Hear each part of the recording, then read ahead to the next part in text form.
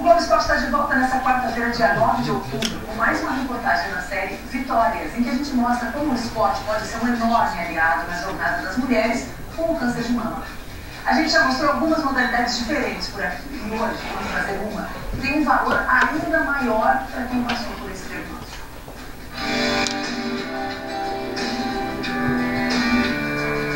O esporte ele não me deixou ficar abaixo, assim como os tipos diagnósticos.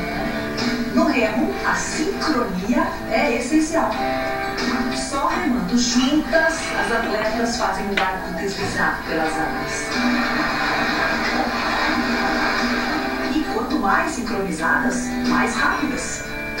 A canoa, tá? Pra ela fluir, todo mundo tem que entrar e sair com a pá junto na água, certo? Então a sincronia é o nosso foco principal. Sincronizadas pelo esporte e por uma conexão que não quer acelerar, e sim fazer o tempo ir mais lento, durar mais.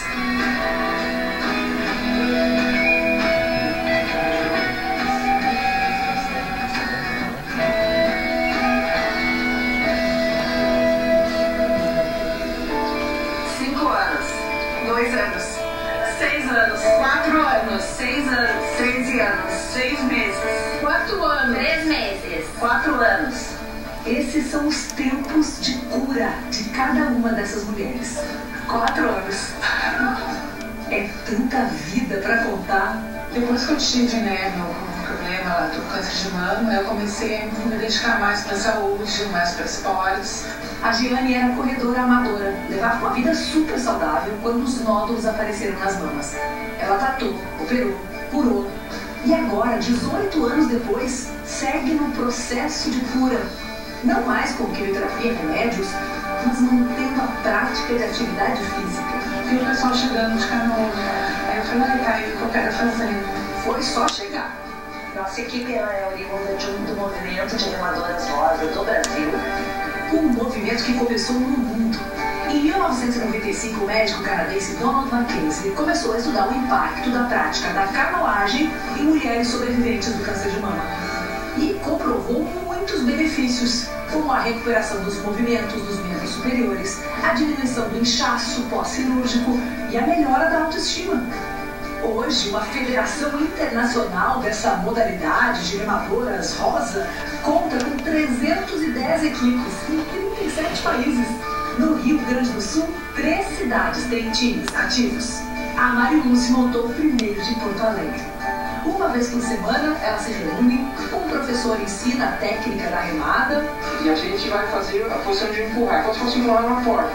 com o acompanhamento de uma fisioterapeuta, elas fazem exercícios de alongamento, aquecimento e o principal, tem um momento juntas. Para ter saúde, para ter empoderamento até, para pertencer a um esporte que nós estamos remando, a gente esquece as dores. O nome da equipe é Auapé, do tupi, flor que flutua em águas calmas. Perfeito para elas, né? Aqui tudo seja leve. Quanto a gente leva? Maravilhosa. Foi nessa sintonia com a água, pertinho do mar, que a Carmen viveu um dos momentos mais intensos dessa trajetória. Eu disse, eu tenho que enfrentar. Eu tenho dois filhos. Eu fui pra beira da praia, num mirante, meus filhos cortando os meus cabelos. E aí depois nós todos fomos tomar um banho de mar. Com os cabelos voltando a crescer agora, ela segue na água, só que remando. Eu sempre tentei procurar o esporte pra ah, ah, fazer com que fosse também mais leve. Que quando pensou, foi a leveza que segurou. Ser leve como quem flutua na água, sempre que possível. E valorizar sempre todas as vitórias, de todos os dias. Eu venci quando eu fiz a minha última quimioterapia. Eu venci quando eu Usei o esporte, né, pra ficar bem. E quando eu comecei a viver a minha vida normalmente, novamente, todas essas mulheres para dentro da equipe para remar, para fazer o esporte. E para ter saúde, e para ser feliz, e tudo de bom. Tudo de bom. Eu mesma posso provar. e aproveitar para convidar mais mulheres a experimentar. Nosso objetivo é que todas as mulheres venham remar conosco. Eu tô remando aqui, tô te reconhecendo, Vivi. Da onde a gente conhece? Do segundo Vitórias. Da segunda temporada de Vitórias. Como é que tu tá? Curadinha, é? Curadíssima. E o Estado. Seguiu. Mais forte do que nunca. Usar o esporte para superar e manter o esporte para seguir. Tem que ser todo mundo junto pra frente, sempre. Junto e pra frente, é assim que é a vida. Chega de mais e mais vitórias. Eu venci quando consegui me conectar com essas mulheres para fazer Estamos hoje aqui no Conselho Regional dos Representantes Comerciais do Estado do Rio Grande do Sul, que tem a missão de fiscalizar para que lá na ponta o consumidor tenha prestações de serviço em todos os setores de excelência. Mas o que importa hoje, a missão hoje do Conselho é uma missão diferente, é uma missão social, é uma missão humana, muito mais do que humana, é uma missão espiritual de transformação, de superação no Outubro Rosa aqui. E o grande destaque é a professora Mariluce Campos, é, que tem um, um, currículo assim extremamente forte e transformadora, não é isso, professor? Então, exatamente, né, nós, desculpa, posso... segura para mim? Então tá. Então assim, ó, uh, realmente uh, o nosso currículo ele é um currículo já uh, apropriado porque nós estamos assim, ó, uh, lidando com o ambiente, com o bem-estar né, geral. E, e, isso veio até uh, culminar com a, uma missão, vamos dizer assim, que uh, a vida me, me trouxe logo após que, né, que foi o diagnóstico do câncer de mama. Eu sou uma sobrevivente do câncer de mama e fui professora. Totalmente, totalmente, uma virada de chave, né? Então, assim, ó, esse, este, este momento, né, pós-diagnóstico, me trouxe a certeza que nós tínhamos que fazer, que tinha que fazer alguma coisa, né? Que eu não poderia deixar que aquele diagnóstico era de... uma tempestade que trazia uma mensagem. Exatamente, e que eu poderia passar por essa eh, tempestade e melhor ajudar outras mulheres por meio do esporte. Então eu conheci realmente durante o meu tratamento eu conheci um movimento de remadoras rosa do Brasil que é um movimento bem forte. Tem sido noticiado de forma muito intensa. Né? Então, inclusive agora já estou convidando todo mundo para assistir, né? E para porque vai ser, acho televisionado, acho que vai.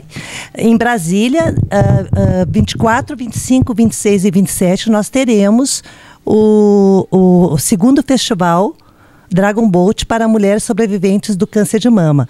Ele é latino uh, American rosa, porque vem uh, equipes uh, do Canadá, do Chile, Colômbia, Argentina e o Brasil. Então nós estaremos lá representando Porto Alegre. Bom, né? uma tempestade tu tirasse superação e transformação e hoje quer dividir essa missão e essa mensagem. Exatamente, eu quero não só dividir, mas convidar todas as mulheres que tiveram o diagnóstico de câncer de mama e dizer pra, para elas né, que não é que um diagnóstico não é uma sentença de morte, muito pelo contrário, que elas podem se, se, se vamos dizer assim, ó, se ressignificar, né?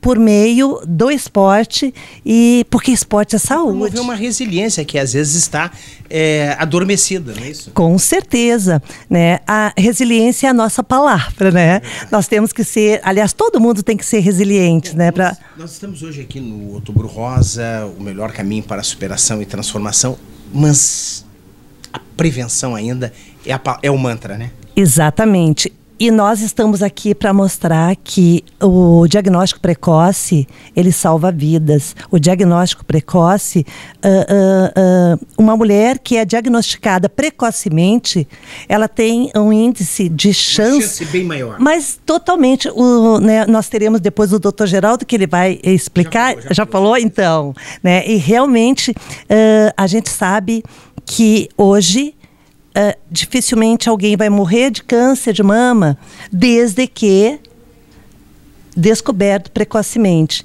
As, as chances né, de sobreviver é muito grande. Então, assim, o que, que acontece com as mulheres? Elas têm, elas têm receio de, de procurar um, um médico para fazer um exame, porque elas acham, né, e elas têm, elas falam isso, né, que ai, quem procura acha. Isso não é, é, é não é verdade. Quem procura, quem procura acha. Não, realmente quem procura acha. Quem procura acha a cura. Salvar, exatamente. Acha uma maneira de se curar. Então, assim, quanto mais precocemente for descoberto o câncer de mama, com certeza esta mulher ela não vai morrer do, de câncer de mama, né? Essa pessoa não vai morrer de câncer de mama. E vai servir de exemplo para outras. Com certeza. Vai replicar. Com certeza. Nós estamos no Outubro Rosa. Podemos dizer que o Outubro Rosa poderia ser de janeiro a dezembro, né? Mas deve ser. Né? Aliás, a gente tem que, nós temos que nos pintarmos de rosa de janeiro a dezembro, não só no outubro. Claro que o outubro é maravilhoso porque traz essa divulga, exatamente, representatividade, exatamente, exatamente. Mas assim, ó, um um conselho que eu dou, né? Não deixe, não espere para outubro para ir no seu médico, né? Vá antes, vá em janeiro, fevereiro, né? Todos os meses é tempo da gente é, cuidar da nossa saúde. Professora Mariluce Campos, professora MBA e professora ambiental, é, uma mensagem para as mulheres, uma mensagem para os maridos, ah, então. uma mensagem para os esposos, uma mensagem para os filhos incentivarem as mães, as ah. namoradas, as irmãs, as filhas, as mulheres na, pre, na prevenção? Então, assim, o que, que eu quero dizer? Primeiro, a mulher, para a mulher, né? A mulher, ela precisa realmente se conhecer, porque o corpo, ele, ele, ele dá sinais. Então, o mínimo de sinal que aparecer, já procura o médico. O corpo fala. O corpo fala. O corpo fala. E a gente sabe né, disso. E para os homens, uh, que são os, os nossos parceiros, né, parceiras, uh, que fiquem ao lado dessas mulheres, porque elas precisam demais. E a gente tem uma estatística muito triste. E depois elas vêm mais fortes. Exatamente, mas a gente tem uma estatística triste. Né, que uh, há um número muito grande de, de companheiros que abandonam as suas companheiras. Ato né? desumano. Totalmente, mas existe, é realidade né, para as mulheres diagnosticadas com câncer de mama. Então, assim, o que, que eu digo? A gente precisa ter essas pessoas. Pode ser um remédio, né? E é. A família e os amigos uh, junto da gente nesse momento é o que a gente mais precisa. E é justamente nesse grupo de Remadoras Rosa, da equipe UAP Dragon Boat de Porto Alegre. Uma segunda família. Mas totalmente, a gente se cuida, a gente se, né, a, a gente se preocupa, se ama. se ama. a gente se abraça, a gente chora junto, a gente faz tudo junto, né? A gente rema junto para realmente nos tornarmos mais fortes. se transforma num remédio. Mas o amor é um remédio, né? O amor é um remédio. Então, assim, ó, eu quero dizer para essas mulheres que elas não estão sozinhas. Que aqui em Porto Alegre agora nós temos uma equipe para cuidar. Exatamente, né? Para cuidar da saúde física e mental. Claro que nós temos os nossos médicos maravilhosos que estão ao lado da gente, né? Mas assim, nós também temos que fazer por nós. E o fazer por nós é a gente acordar às 5, 6 horas da manhã e remar, e depois vai trabalhar, e depois segue a vida. Porque, repito, o diagnóstico de câncer de mama hoje não é mais sentença de morte. Alguns anos atrás, a pessoa ia para casa chorar eu, tá é, mas agora não. Agora a gente tem realmente assim possibilidades, N possibilidades de ser feliz e de levar a vida adiante. Fica o recado. Boa palestra, obrigado. Ah, obrigada, obrigada a todos. Bom, estamos hoje aqui no Conselho Regional dos representantes comerciais do Estado do Rio Grande do Sul, que tem a missão de fiscalizar, de cuidar com que a sociedade receba em todos os setores serviços de excelência, performance de atendimento, num mundo que vem mudando numa velocidade exponencial em todas as suas relações. E hoje nós estamos aqui com Outubro Rosa e o grande destaque é a, professor, é a terapeuta Annelise Lopes, terapeuta especialista em gestão de pessoas, neurociência e performance humana. Lise, fala um pouco sobre o, o que tu vais abordar hoje, os pontos principais, porque o melhor caminho para a superação é a transformação. E junto disso eu agregaria um outro valor também, que a prevenção pode salvar vidas, né? Exatamente. Então, uh, a gente sabe que o processo da doença, ela ele não acontece de, de hoje para amanhã. Ele é um processo que vem acontecendo algumas situações, né? Então, quando efetivamente uh, a gente recebe o diagnóstico, tu tem uma caminhada e provavelmente o doutor já falou sobre essa parte. Exatamente. Então a gente tem todo o tratamento físico do corpo físico e aí a gente passa por uma série de exames, a gente passa uh, pelas quem a maioria, né, às vezes precisa fazer químio, foi meu caso, quimioterapia, radioterapia, um processo longo com medicação e a gente sabe que precisa uh, passar por aquele momento tentar passar da melhor forma possível, olhar para dentro e saber que nada é por acaso e tudo tem um aprendizado, né? Então, passar da melhor forma possível, de forma positiva, de forma que tu tenha fé em alguma coisa, né? Isso é, é, é, é imprescindível, é muito importante porque tu precisa acreditar. A fé agrega um valor muito grande. Agrega um, um poder muito grande porque é um tratamento que tu faz durante uh, algum tempo, né? A, a cada uh, cada uh, tipo de câncer ele tem uma avaliação e conforme o que tu vai fazer é a duração do tempo. E lá no final é que tu vai ter o resultado se deu certo ou não. Bom, a gente tem um período para percorrer e nesse período a gente tem que passar da melhor, tentar passar da melhor forma possível, olhando para dentro também e vendo o que que eu deixei de fazer e que eu preciso daqui para frente, né? Parece que a o câncer traz um, um, uma mensagem, uma missão de nos conectarmos com nós mesmos, para poder também descobrir os remédios que tem dentro, mais ou menos isso? É uma tomada de consciência que precisa existir para que nós uh, possamos nos curar de dentro para fora, porque a parte uh, da doença em si é feito pela medicina, né? Pela medicina da terra. Então, o processo da químio, da rádio, a medicação e, e, e várias coisas que precisam ser mudadas. Às vezes a gente precisa olhar realmente para dentro e ver o que que eu não fiz, por exemplo, uma alimentação saudável. Uh, daqui um pouco eu não me hidratei como precisava, eu não dormia o suficiente, eu trabalhava muito e não olhava. Eu estou dizendo isso porque todos esses fatores. Eu não me perdoei. Meus. Eu não me perdoei. Então, a gente está falando de algumas situações da parte física, mas tem a parte emocional. Né? Então, o, o câncer ele é multifatorial, tem várias situações, então a gente não pode uh, uh, classificar todo mundo igual. Cada situação é uma situação diferente. desde o físico do emocional, do químico, do físico, Exato. exercício, alimentação. Tudo, tudo. Por isso que se diz que é um momento para nós pararmos tudo e nós precisamos parar tudo e precisa transformar. Então, como dizem, a superação depende da transformação. E quando a gente transforma é porque a gente buscou o autoconhecimento. Não existe transformação sem autoconhecimento e não existe superação sem transformação. E essa conexão consigo mesmo parece que ela é é, é, é, estratégica para poder ter coragem e força para fazer as outras frentes funcionarem, né? Exatamente. É, é um momento, como a gente estava falando, que tu precisa olhar e ver o que, que precisa ser transformado. E tu te vê num, num, numa situação que é possível buscar essa força e coragem para ultrapassar esse desafio. Porque aí entra a questão da fé e tu acreditar em algo que eh, te faz levantar todos os dias e fazer a opção de eu quero viver, eu quero ir em frente, o que, que eu tenho que fazer? E ali começa toda a transformação daquilo que a gente não fez durante anos a fio.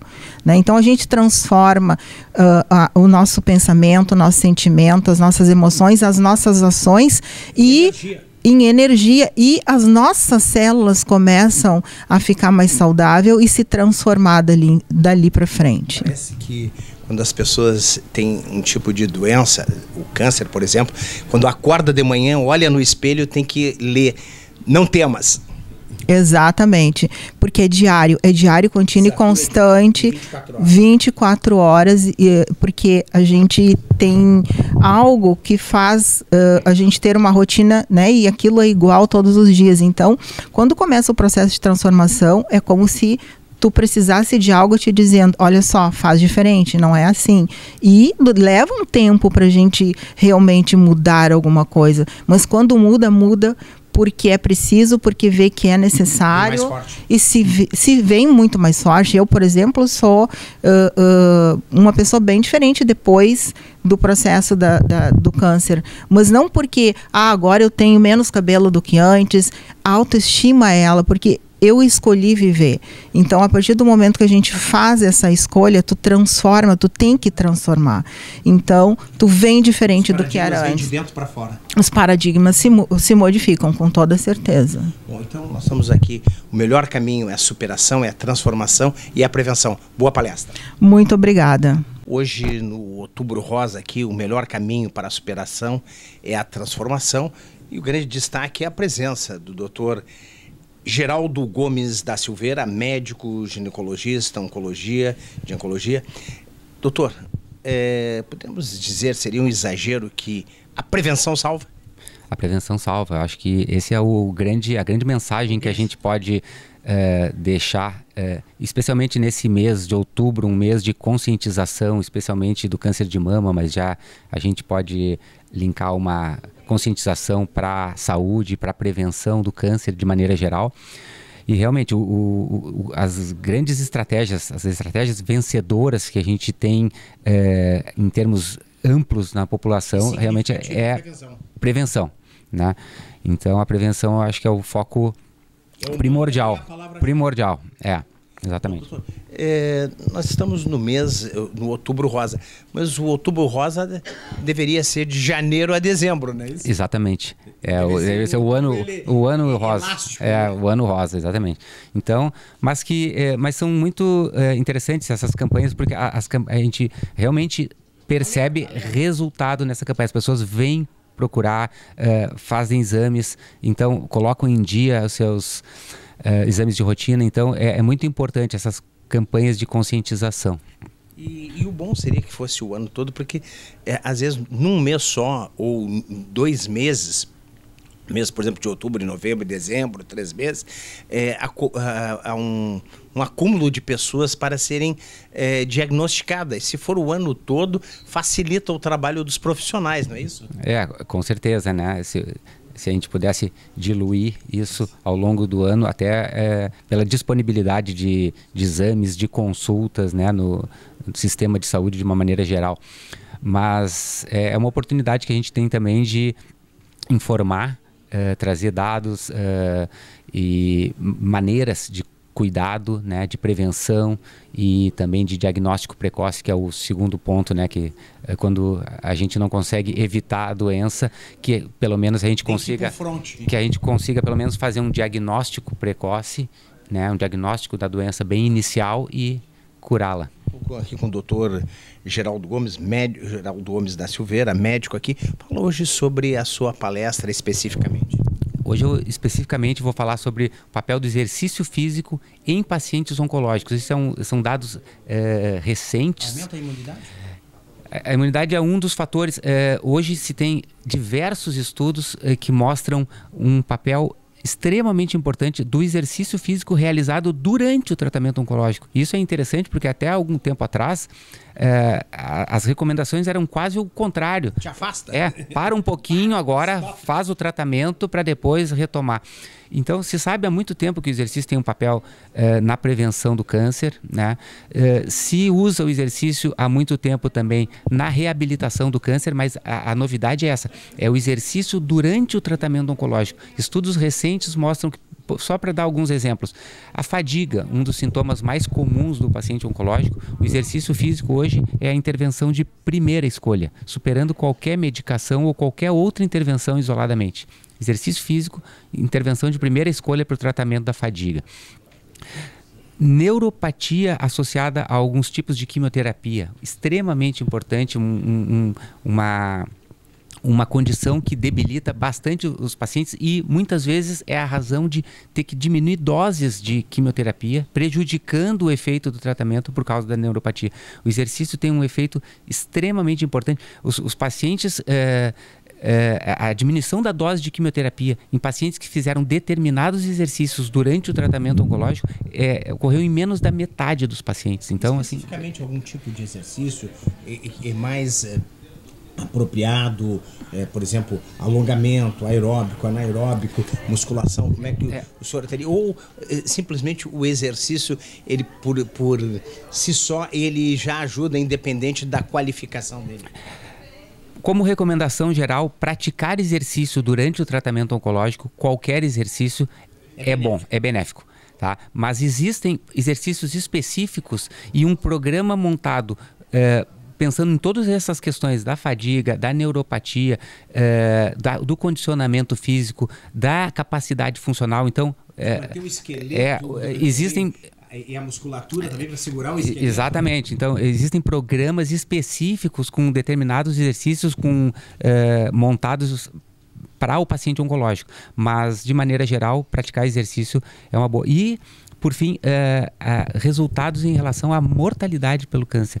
Hoje, em determinados tumores, quem pratica exercício físico durante o tratamento oncológico, a taxa de mortalidade cai em mais de 30%. Vamos repetir, que é significativo. É, é extremamente importante. Mais de 30% da redução da taxa de mortalidade pela doença em determinados tumores para pacientes que fazem exercício físico durante o tratamento oncológico. Em relação Isso à é um dado... ajuda no, na parte emocional também? A parte emocional é sempre importante, né? É, é, é, em termos de, é, em relação ao exercício, é muito avaliado o chamado bem-estar, né? Então, é outro é, importante papel do exercício é a melhora do bem-estar é, do paciente oncológico. Então, melhora a capacidade funcional, melhora condicionamento físico, melhora bem-estar.